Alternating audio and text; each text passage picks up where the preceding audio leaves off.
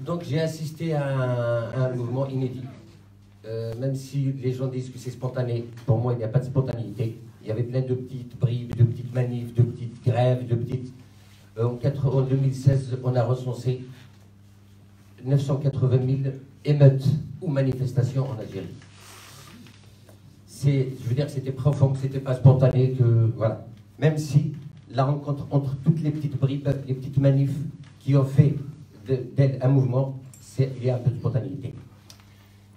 Avec l'indépendance de l'Algérie en 62, sachant que la France est restée une 130 années, 132 ans, en 62, il y avait un, gouvernement provisoire qui a été, euh, qui a été, qui a pas élu. Le gouvernement provisoire suite à l'indépendance a été abattu, renversé, voilà, par l'armée des frontières. Du coup, la, la constituante de 63, qui est une constituante qui était censée être aplanir et mettre tout à plat et reconstruire à la base, a été donc renversée. Le coup d'État de Boumedienne en 65, euh, les événements de 80, euh, la mort de Boumedienne et la transmission de, la présidence par l'armée HD Bejdid, qui était un lieutenant aussi, un colonel. En 88, il y avait l'éclatement des manifestations de fameux octobre 88. L'Algérie était parmi les pays à la vague des pays de l'Est, le printemps de Prague et compagnie.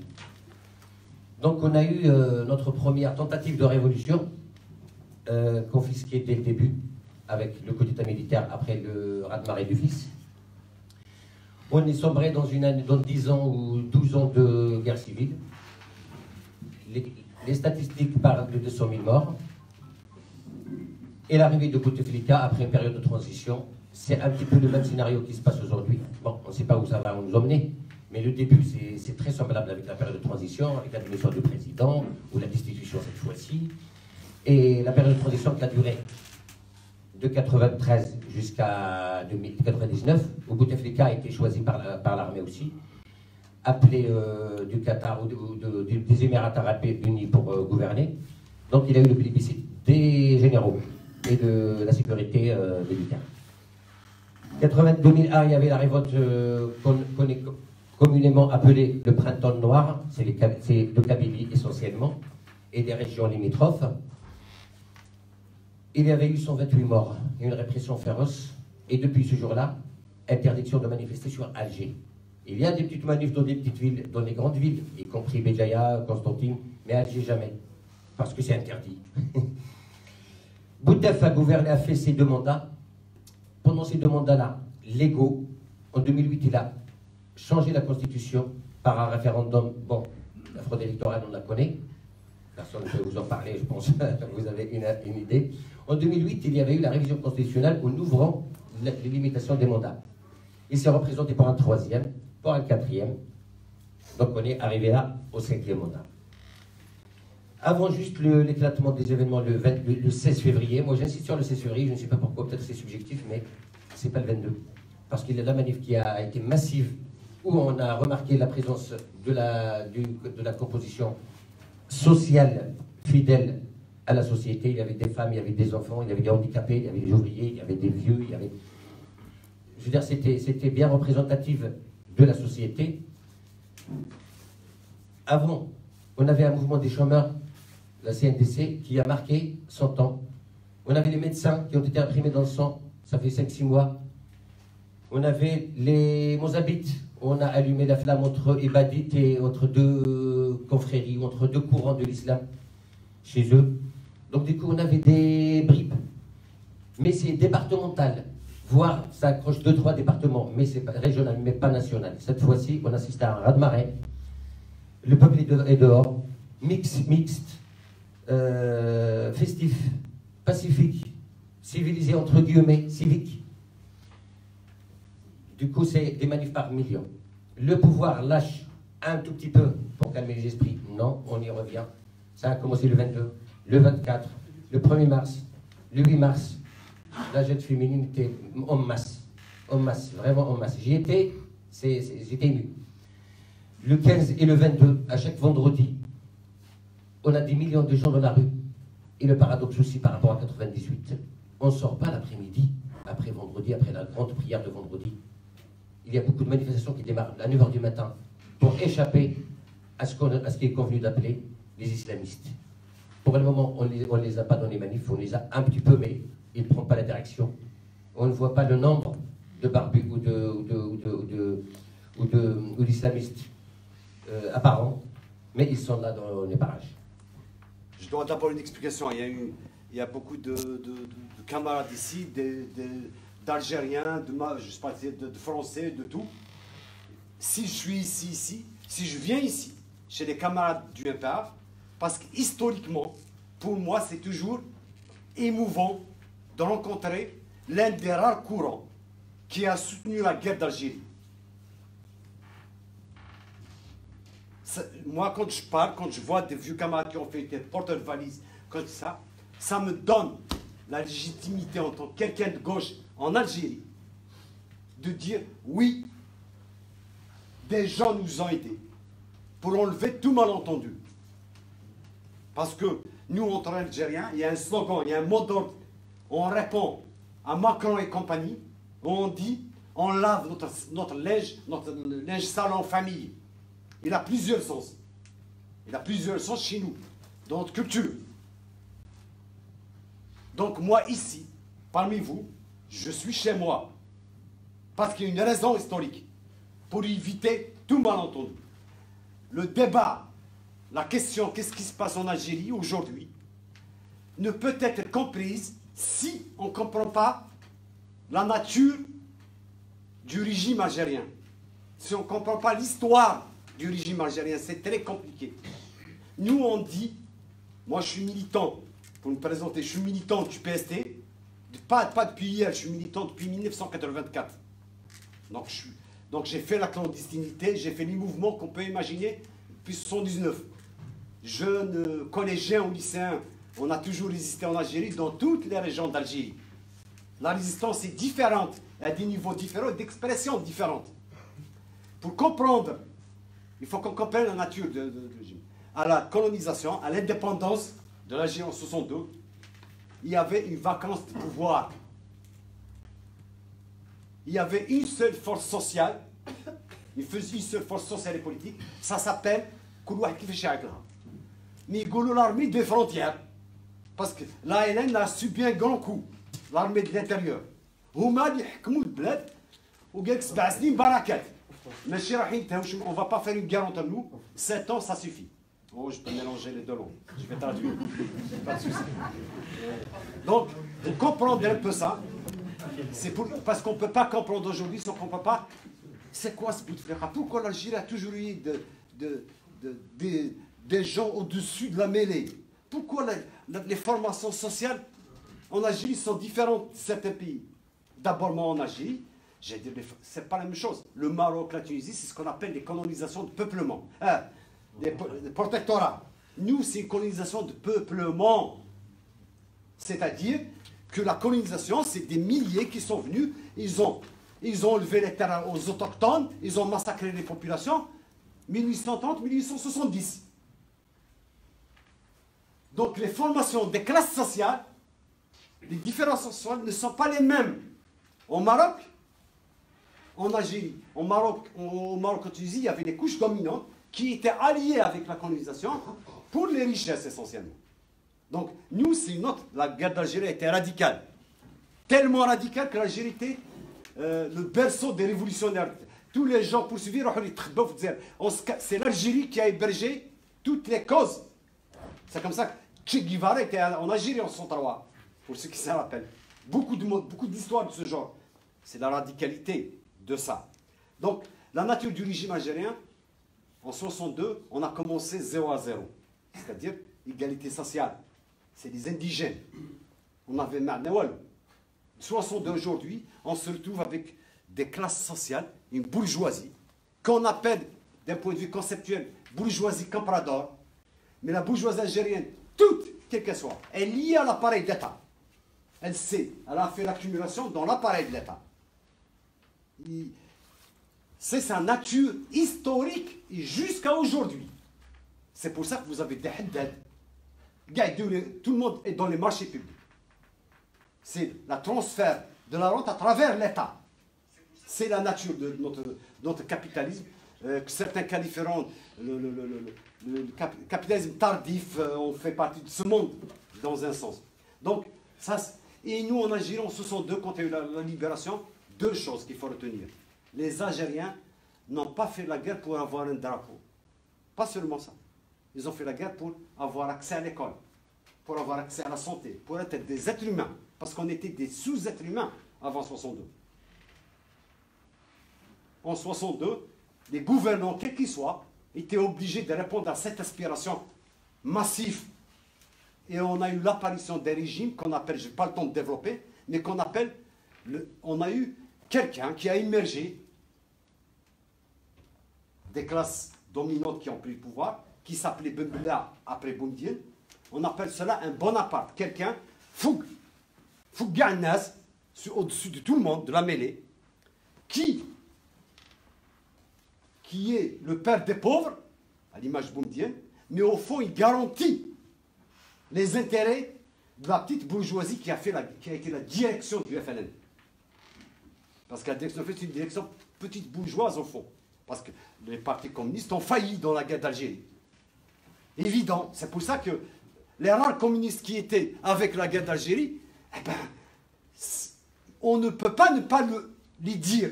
On vient d'apprendre que on vient de, on vient de- de réhabiliter Maurice Audin. Il y en a tellement d'autres. Il y en a tellement d'autres qu'on ne peut pas citer. Il y a ceux qui sont en Algérie jusqu'à aujourd'hui. Les Cholets, et dans tous les secteurs. Euh, comment il s'appelle la Suisse? Euh, Enfin, j'ai oublié son nom, qui a écrit un livre dernièrement. Qui a tout perdu, ses enfants, tout, tout, tout. tout. Elle, est, elle est Alger dans un afterwa. Steiner. Steiner. Oui, il y a beaucoup de noms. Bien sûr. Donc attention. Donc ça, c'est l'intérêt du régime. Donc le Bonaparte, c'est quoi? Eux, la petite bourgeoisie voulait son projet libéral. Elle doit faire son accumulation. Mais la pression du peuple est importante. Il y a ce qu'on appelle un Bonaparte, un sauveur, qui vient dire Moi, je travaille pour le peuple, je vais faire toutes ces aspirations, mais d'un point de vue matériel, c'est l'apparition des premières couches bourgeoises. Ça s'est exprimé au coup d'État de 65, où Boumediene garantissait les intérêts, dans, la déclaration du coup d'État déjà.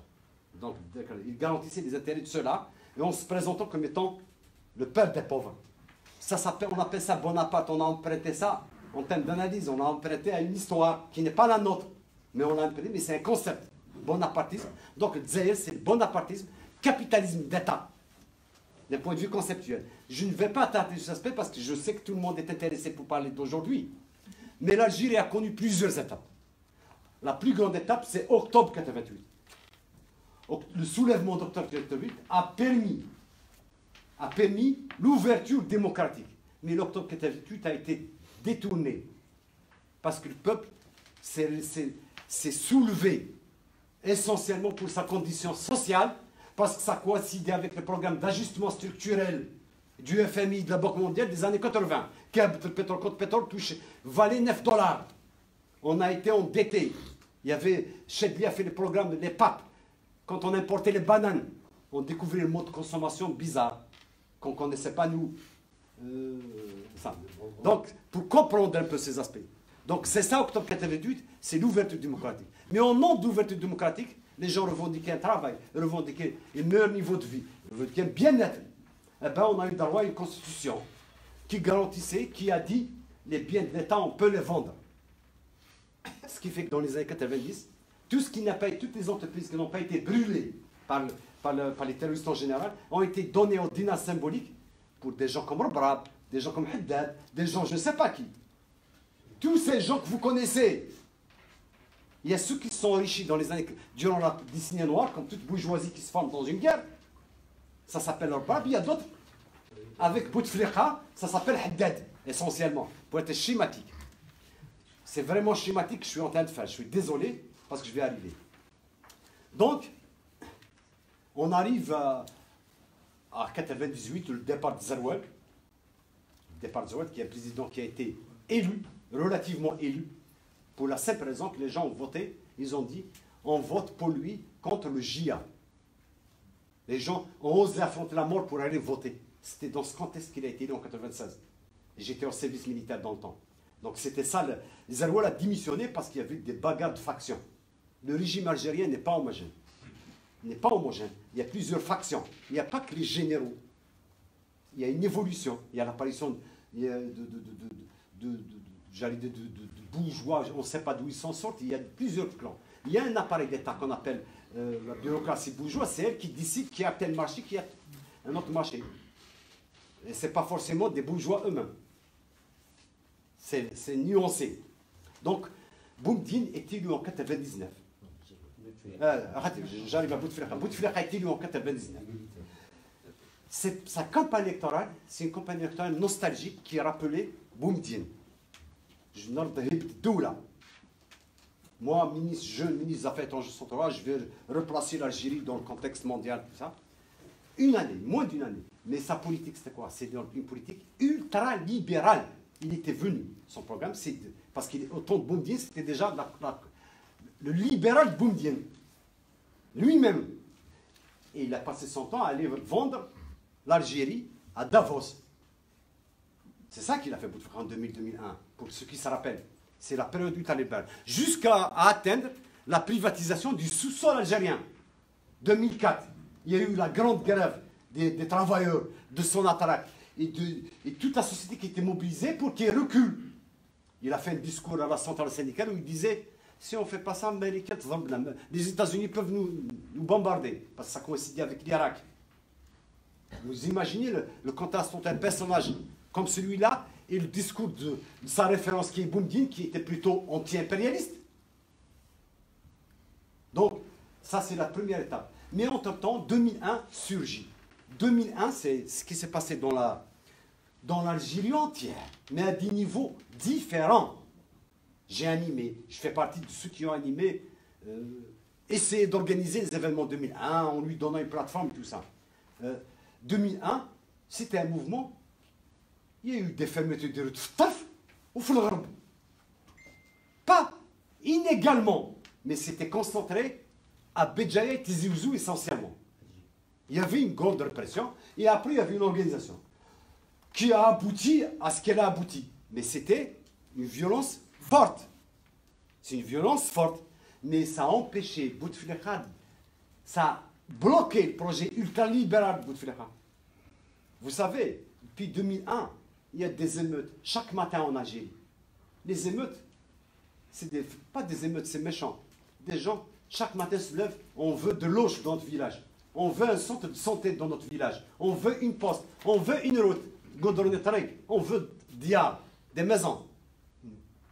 Des revendications sociales. Ça s'applique par, parce que pour les Algériens normaux, avoir un logement est un droit. Se soigner gratuitement est un droit. Aller à l'école gratuitement est un droit historique, lié à la guerre de libération, lié au caractère violent radical de la guerre de libération nationale. Historiquement lié. Pourquoi je fais référence à ça? Je vais, je vais en venir maintenant. Donc, Bouteflika a fait un cours de ce genre. En 2008, il change de politique. Il applique ce qu'on appelle le patriotisme économique. Un petit retournement. Parenthèse, patriotisme économique entre guillemets, hein, je l'ai mis bien entre guillemets, hein, parce qu'il a offert beaucoup de choses pour Alstom, pour les multinationales françaises, américaines et autres.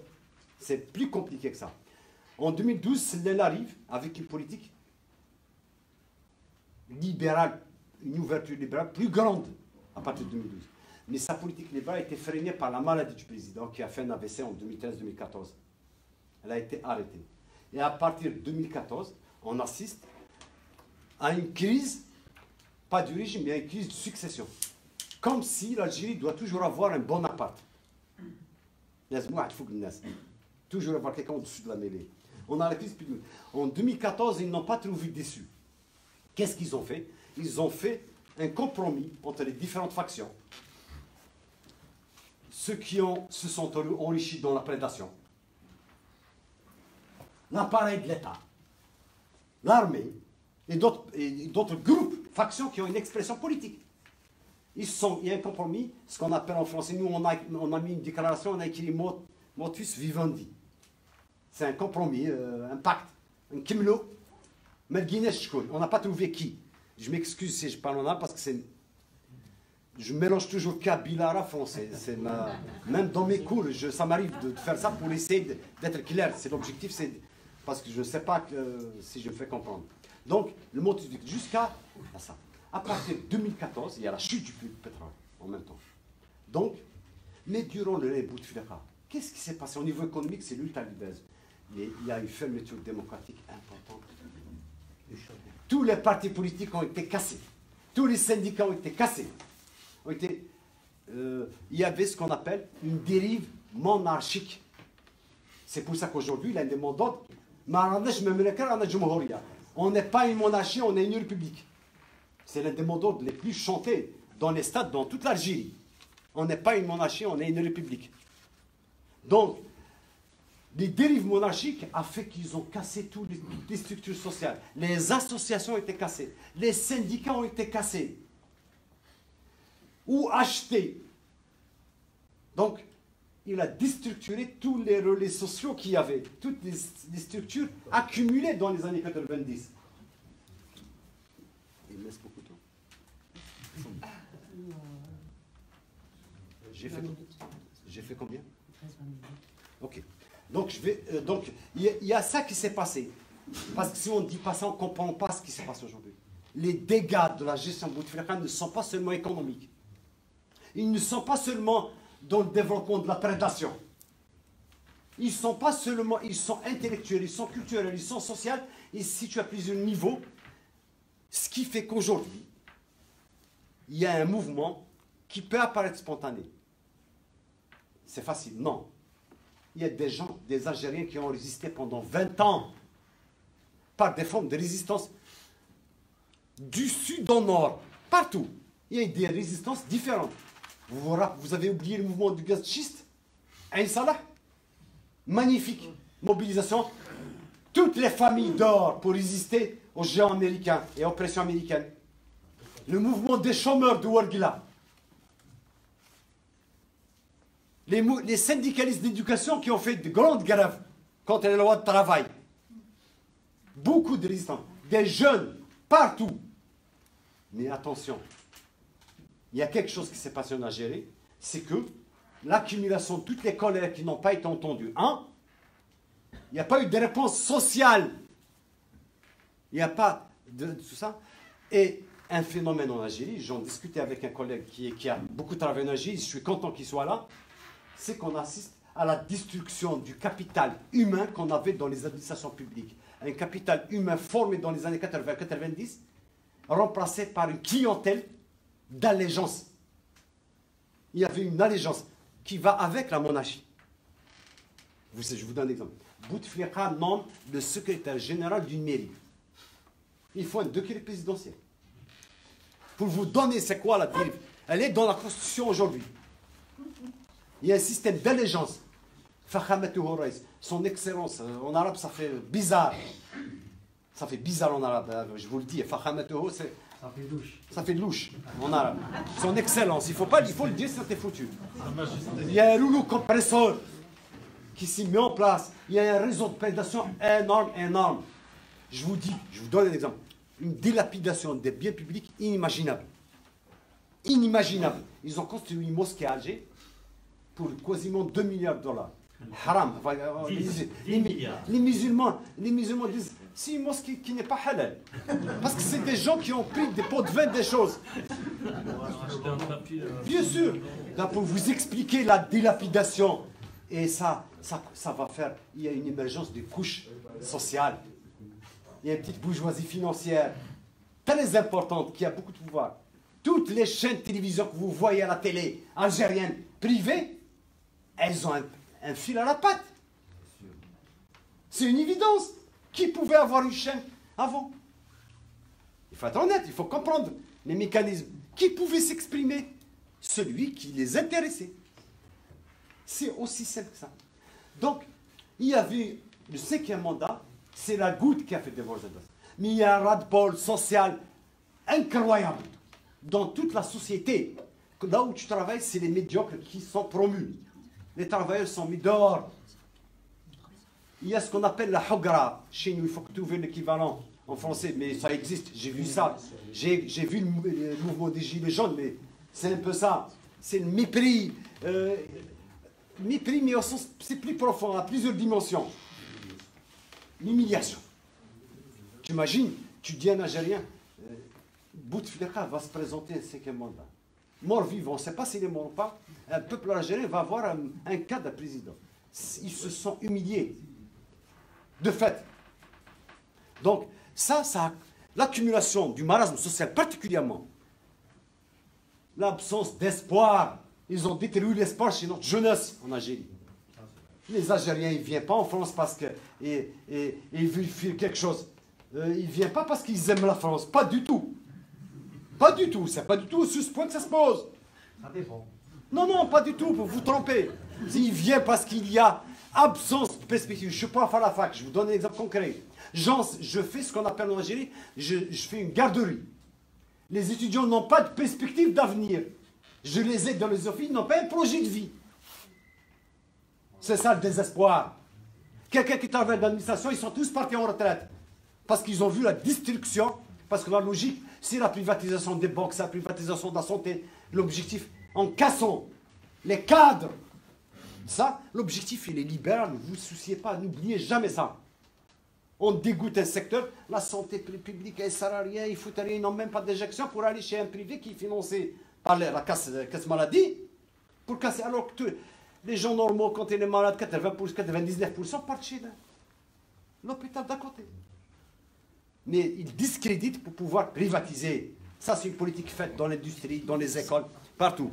Donc, il faut pas. Donc, c'est ça l'enjeu. 2018, c'est la conséquence de ce que j'ai raconté c'est des dérives importantes.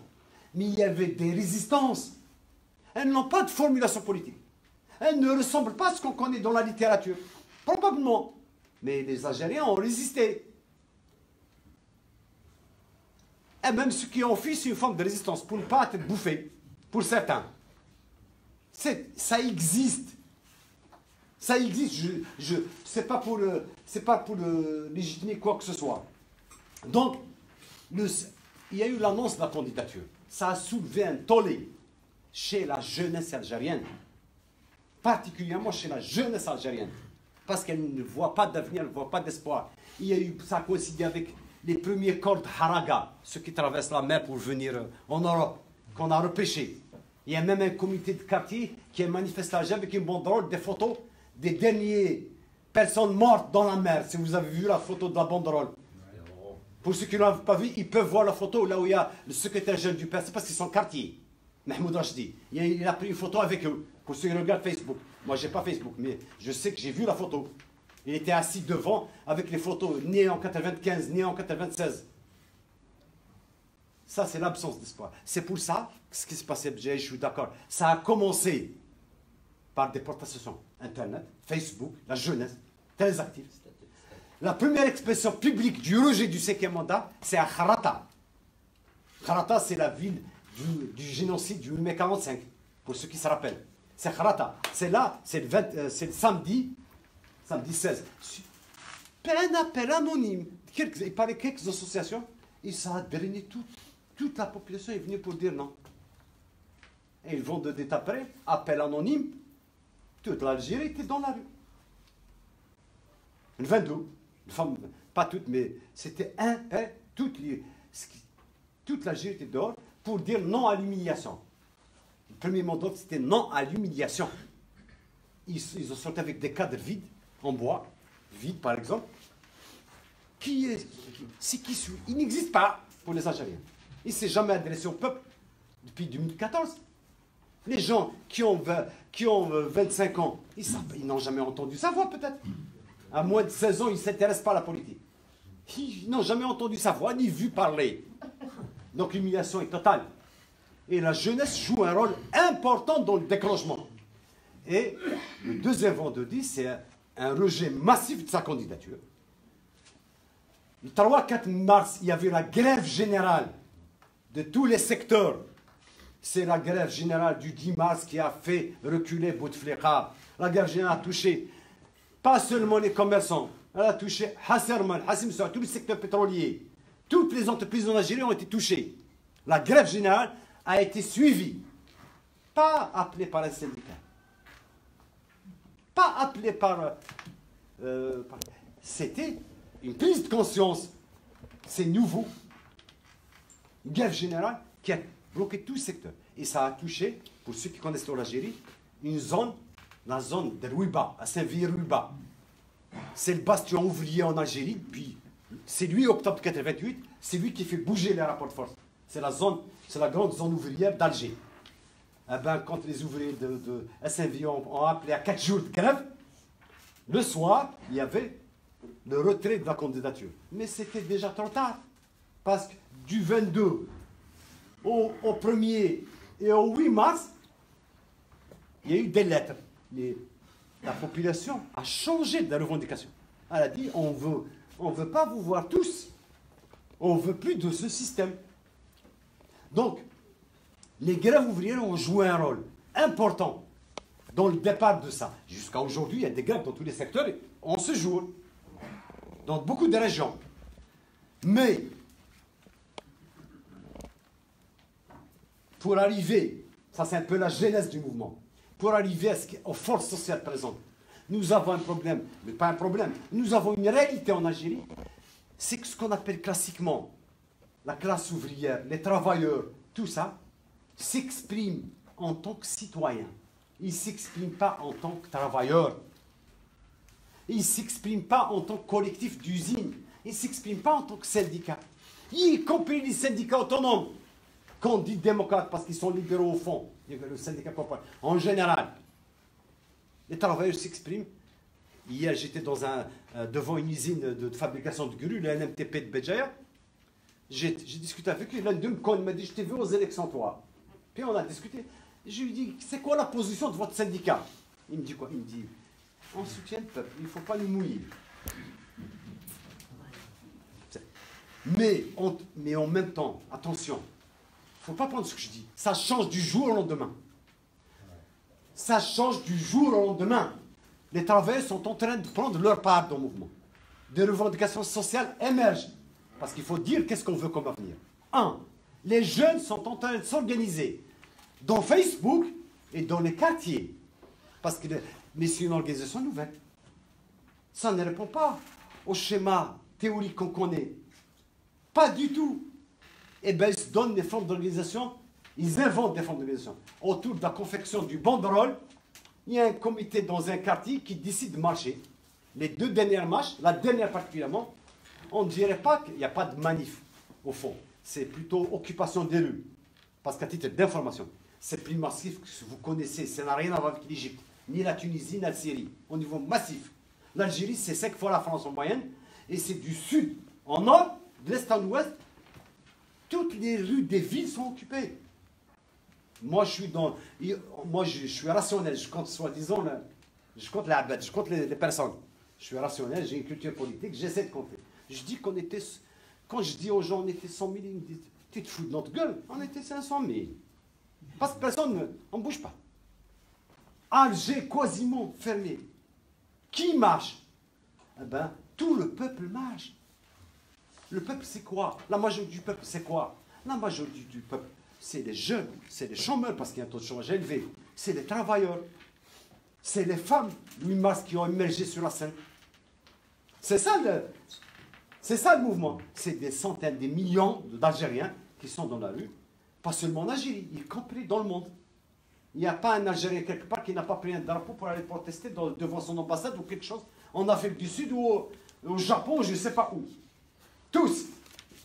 Mais je ne parle pas de, France. Je ne parle pas d'ici. Partout. C'est les dimanches, c'est les vendredis. Pour dire, système dégage. Reste le contenu du système. C'est quoi ce système qui doit dégager? Eh ben, Le système qui doit dégager, c'est ceux qui ont gouverné l'Algérie, qui sont responsables du désastre.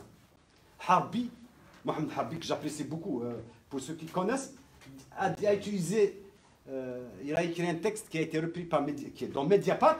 Il disait, il a écrit une jolie phrase, il a dit l'éclosion de l'Algérie. Et il, n'a pas tort. Parce que le Rachid, les gens en Algérie te disent on va reprendre notre souveraineté. Le peuple veut récupérer le pouvoir. C'est quasiment un retour à 62. C'est pour ça que j'ai fait référence à, plusieurs fois à cet aspect. Et, et dans, le, dans texte Harbi, il est, très intéressant. Très intéressant, il est très cohérent. On est d'accord à 1000%, c'est pas ça dans le contenu. Mais aujourd'hui, le mouvement commence à s'organiser. C'est une réalité. Par contre, ceux que vous voyez à la télé disent non, il ne faut pas accélérer l'organisation, il ne faut pas faire ça. Qui s'appelle tabou, Bouchechi ou parti politique, tout ce que vous voulez, ça les aide parce qu'ils sont là. Ils sont là pour. Eux, c'est les experts, eux, c'est les personnalités. Mais le peuple, il ne vous connaît même pas, vous. Vous n'avez pas été dans sa résistance. Ils offrent, ça s'appelle une offre de service. Pour, pour la continuité du système autrement. Jusqu'à hier, où l'armée décide, Gates Salah lance un appel, l'application de l'article 102. Mais le peuple a revendiqué, ça fait 10 ans. Il est incapable depuis 10 ans. Au fond, c'est juste, pourquoi? Parce que c'est la seule alternative légale, légale qui existe dans la Constitution. Parce que le 28, il n'y a plus de, il a plus d'issue juridique. Il va y avoir un vide juridique sur cette question à partir du 28 avril. Mais le seul article qui permet au, au bouteflérisme de continuer sans boutefléra, au régime de continuer sans personnage, c'est l'application de l'article 102. Parce que c'est profond. C'est ça. C'est la seule chose. Sans le, sans le, le, roi est mort, vive le roi. C'est ça la seule logique. C'est une ruse. Mais la ruse, ça fait longtemps qu'elle a dit ni lui ni vous. Ça fait longtemps. Ça fait une semaine qu'elle a dit départ, système dégage. Système dégage. Parce que je n'ai pas les d'auto-organisation, je n'ai pas été au bout. Je devrais expliciter un peu plus les choses. Euh, j'ai dit, dégage, donc ils ont appliqué, ils ont répondu.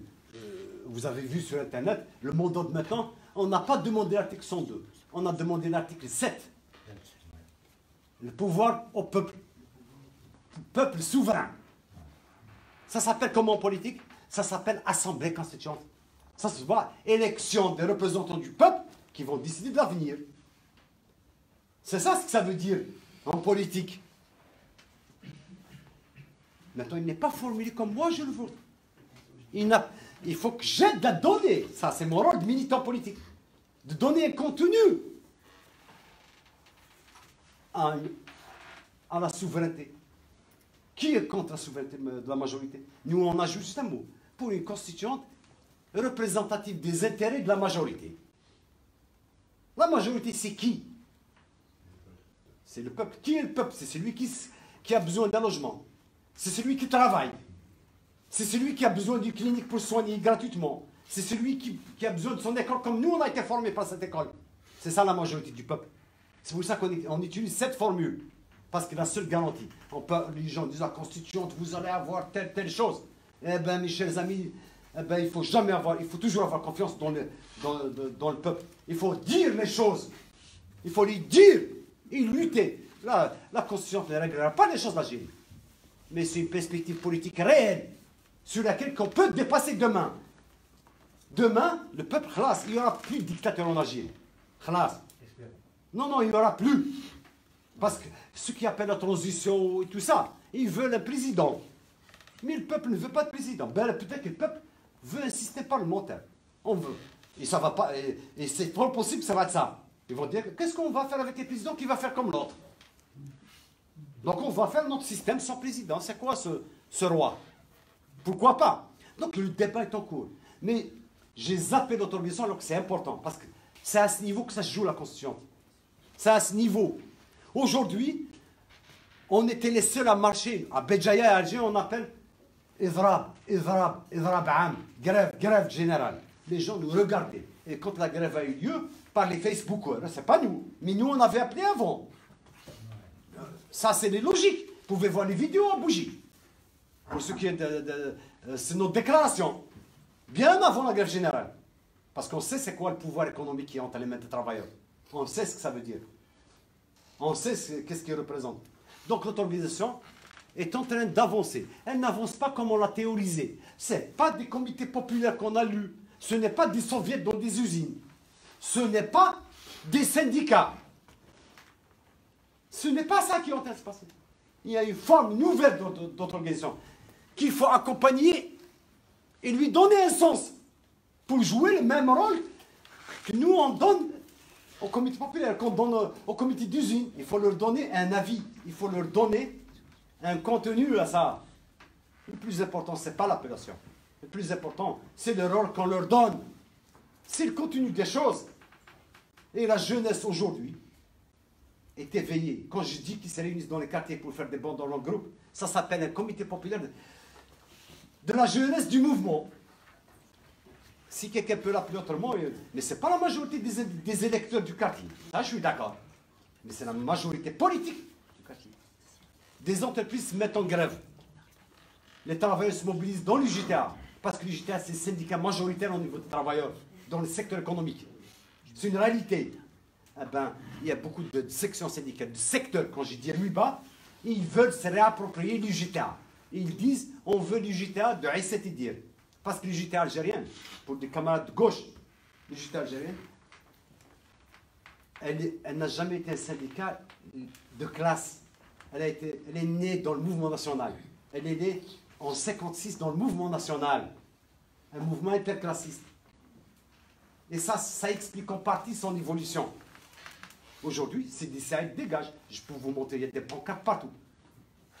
Les, travailleurs sont en train de se bagarrer pour se réapproprier leur syndicat. Et nous, on dit, oui, pour un syndicat qui défend des intérêts des travailleurs, un syndicat démocratique de classe unitaire.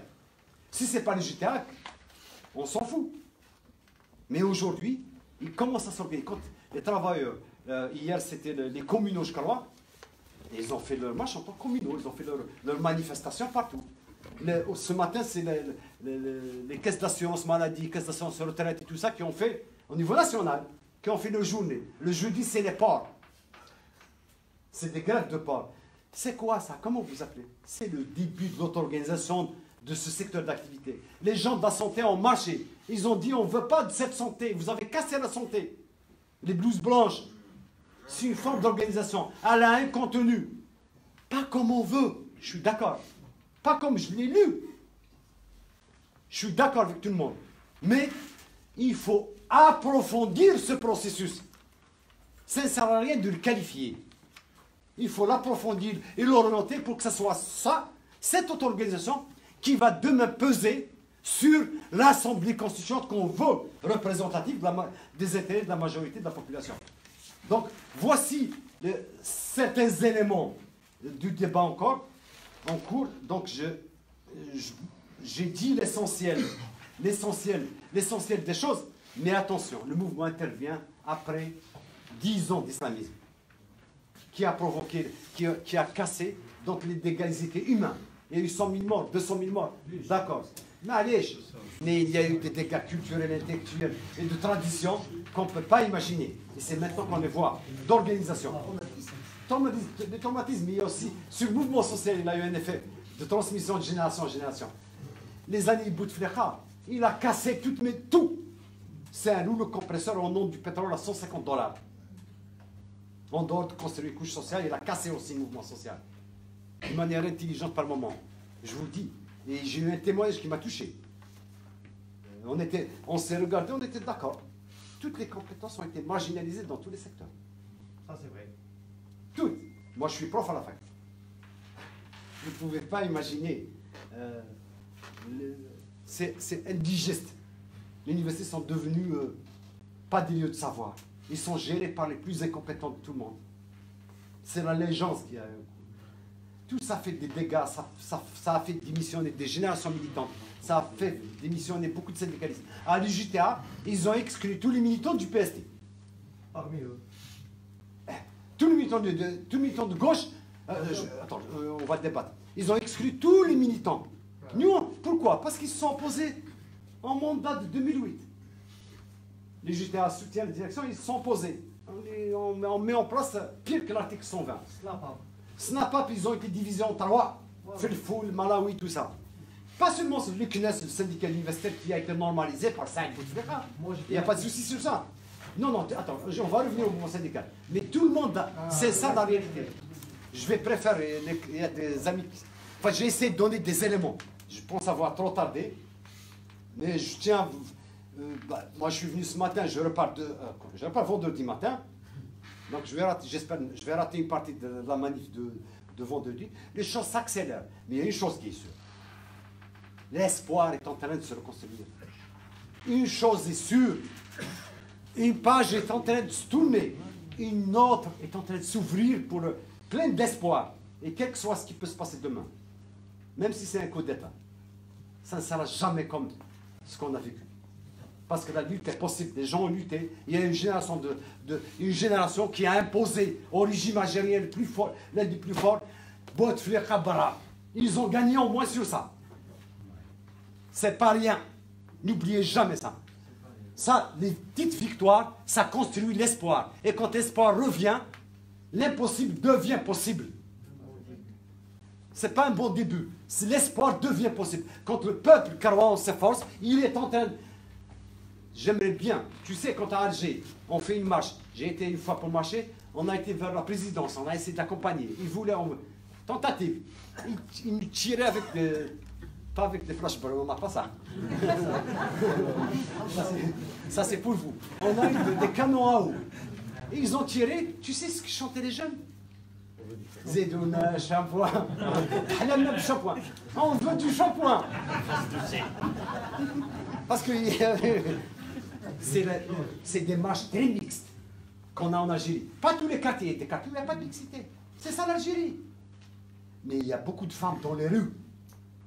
Là où je marche, c'est très, mixte. Le 8 mars, on n'a jamais vu autant de femmes dans les quatre coins d'Algérie. On n'a jamais vu ça. Ça annonce que dans la joie, dans le respect.